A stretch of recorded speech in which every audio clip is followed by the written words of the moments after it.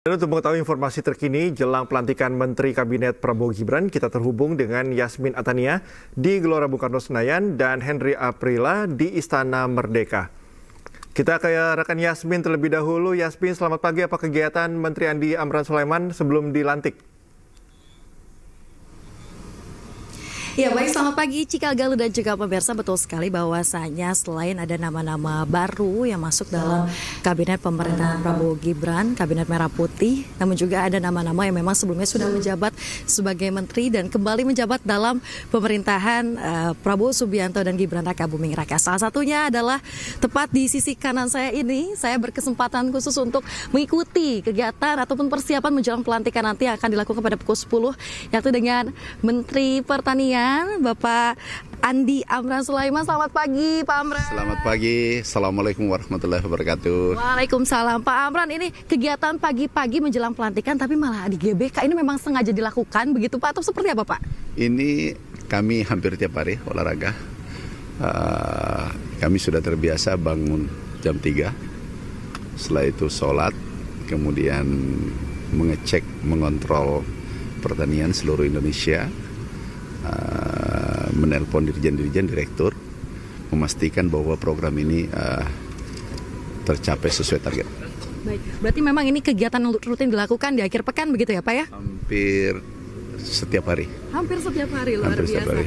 Baik Pak, setelah dari GBK rencananya nanti sebelum uh, ke Istana Kepresidenan akan melakukan kegiatan apa lagi Pak? Uh, setelah ini langsung kami uh, rapat dengan uh, tim tenaga ahli eselon 1 dengan Pak Sekjen uh, jam 7 nanti. Jadi uh, bagi kami di pertanian sekarang karena ada krisis pangan, kemudian ada target yang diberikan oleh Bapak Presiden uh, sekarang Pak Prabowo yaitu swasembada. Oleh karena itu tidak ada hari tanggal merah. Tidak ada, ada, gak ada hari libur. Gak ada hari libur. ya. Tapi Pak, biasanya kalau pelantikan Bapak sudah tiga kali nih menjabat sebagai Menteri Pertanian Republik Indonesia hat trick begitu ya Pak ya. Ini ada seperti kegiatan atau kegiatan khusus gak apa yang dilakukan bersama keluarga sebelum pelantikan biasanya Pak?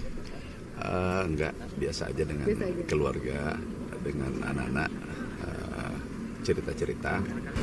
Uh, anak-anak berpesan jaga kesehatan, papa jaga kesehatan karena ini uh, tantangan begitu besar yang dihadapi ke depan. Baik, nah Pak, ini kan sudah tiga kali menjabat Pak. Mungkin masyarakat penasaran bagaimana bisa gitu Pak. Apa ada kiat-kiat khusus apa yang dilakukan Bapak sehingga Bapak kembali terpilih begitu Pak menjadi Menteri Pertanian RI Pak? Uh, kami percaya setiap detik adalah takdir. Kami juga tidak pernah membayangkan bahwa uh, kami dulu PPL bisa menjadi menteri. PPL kemudian 15 tahun kemudian jadi menteri. Itu kami nggak pernah bayangkan. Uh, kemudian dipanggil lagi kembali. Jadi mungkin itu sudah takdir. Kami uh, kerjailah saja mengalir. Bagaimana uh, hidup kami bermanfaat untuk orang banyak, khususnya uh, petani Indonesia. Uh, kerja ikhlas. Ikhlas ya Pak ya? Iya. Baik Pak, nanti rencananya untuk datang pelantikan bersama siapa saja Pak? Uh, bersama anak saya, uh, dua orang dengan istri saya. Uh, nanti mungkin jam 9 sudah ke istana. Karena rencana pelantikan jam 10. Pak, untuk eh, target sendiri dalam kepemimpinan Bapak nanti selaku Menteri Pertanian dari periode 2024 hingga 2029 apa saja Pak? Uh, target kita sekarang sudah persiapan. Uh, Bapak Presiden uh, menyampaikan target uh, swasembada 4 tahun ke depan. Kami yakin itu bisa dicapai. Kenapa? Periode pertama dulu kita pernah swasembada dan itu empat kali. Bahkan kita mendapatkan penghargaan uh, Agricola Medal, medali Agricola dari FAO. Dan itu penghargaan tertinggi dunia. Setelah 40 tahun baru kita uh, dapatkan penghargaan lagi. Dan ini kebanggaan untuk uh, masyarakat Indonesia khususnya petani Indonesia. Ini adalah penghargaan untuk petani Indonesia. Kami ha- hanya bagian kecil dari penghargaan itu. Ini yang berprestasi adalah petani Indonesia, uh, seluruh tim, uh, pegawai kementerian, uh, kabupaten, provinsi dan uh, Kementerian Pertanian. Dari Kementerian Pertanian. Ya. Kita berharap tentunya nanti para petani dapat semakin sejahtera ya Pak ya di Indonesia ya Pak ya. Amin. Terima kasih banyak Bapak uh, Bapak Andi Amran Sulaiman telah bergabung bersama kami Pak. Semoga nanti pelantikannya dapat berjalan dengan lancar ya Pak ya. Terima kasih banyak Bapak sekali lagi selamat kembali beraktivitas Bapak. Terima kasih.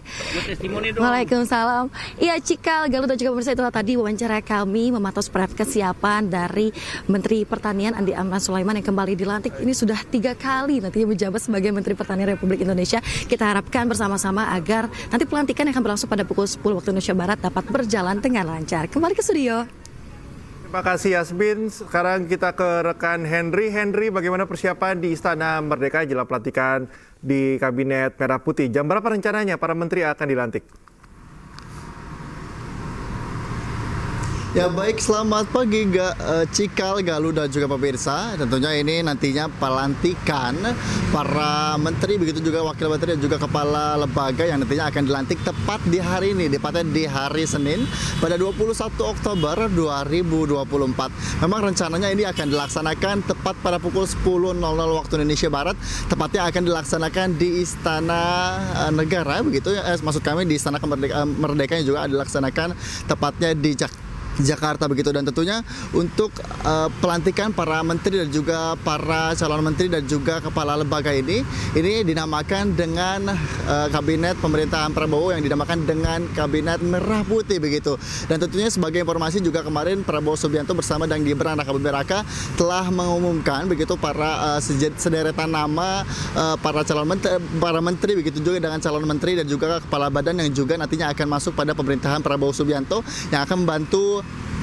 selama lima tahun ke depan dari 2024 sampai dengan 2029 dan tentunya memang tadi eh, kami yang sudah kami sempat sampaikan ini rencananya dilaksanakan tepat pada pukul 10.00 waktu Indonesia Barat. Dan tentunya uh, juga kita juga telah menyimak bersama-sama kemarin di hari Minggu tepatnya pada 20 Oktober 2024 Prabowo Subianto dan juga Gibran Rakabuming Raka telah dilantik sebagai Presiden Republik Indonesia yang ke-8 dan juga Wakil Presiden Republik Indonesia yang ke-14 Begitu juga dengan kemarin para menteri begitu juga dengan para wakil menteri dan kepala lembaga yang juga kompak menggunakan pakaian batik berwarna hitam begitu. Galuh dan juga pemirsa. Eh, dan tentunya juga dapat kami sampaikan ini tercatat sudah ada sekitar 48 menteri begitu juga dengan 56 wakil menteri dan kepala lembaga yang eh, juga masuk pada pemerintahan Prabowo dan juga Gibran. Tentunya harapan besar untuk masyarakat pada pemerintahan ini selama lima tahun ke depan. Sementara saya kembalikan ke Anda Cikal dan juga Galuh di studio Baik, Henry, terima kasih atas laporan Anda dan sebelumnya ada rekan Yasmin Atania yang lagi berolahraga bareng dengan Pak Andi Amran Sulaiman. Selamat olahraga kembali Yasmin, terima kasih teman-teman atas laporannya, selamat bertugas kembali.